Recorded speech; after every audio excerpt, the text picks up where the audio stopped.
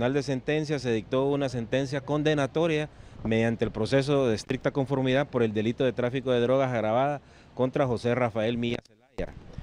Tras aceptar la culpabilidad el acusado, el Tribunal de Sentencia impuso la pena mínima de este delito que es de 10 años, más una multa de 300 días a razón de 20 lempiras por día, que suman en total 6.000 lempiras, además de la inhabilitación absoluta para el ejercicio de sus derechos civiles y políticos.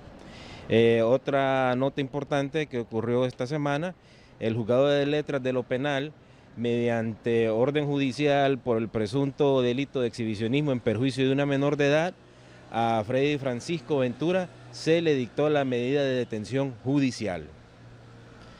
Eh, igualmente ocurrió, hubo, se le dictó detención judicial a supuesto violador de infanta, de una infante, el juzgado de letras, sección judicial de la Ceiba, aquí en el departamento de Atlántida, en materia penal, le ordenó detención judicial a Elmer de Jesús Munguía González, sospechoso de una violación a una menor de edad. El imputado enfrenta cargos de violación agravada y femicidio en el grado de ejecución tentativa acabada en perjuicio de la menor. Y hace una semana exacta anduvo el juzgado de paz móvil, lo que es conocido popularmente como la justicia sobre ruedas. Este juzgado de paz móvil con sede en La Ceiba funciona con una unidad móvil tipo bus cuyo interior está modificado y tiene el aspecto de todo el mobiliario de todo un juzgado tiene dos salas, una conciliación y de juzgado, y se desplaza a sectores donde habitan ciudadanos que carecen de los recursos financieros para movilizarse a un juzgado de paz con sede fija.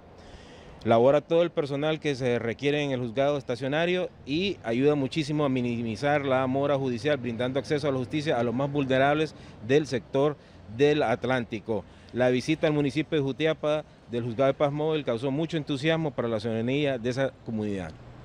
Entonces estamos hablando que este muchacho que violó a esta niña de 6 años en las delicias ya fue enviado a prisión, a la granja penal. El presunto violador eh, está hoy en la audiencia inicial, eh, estuvo en la, en la granja penal detenido.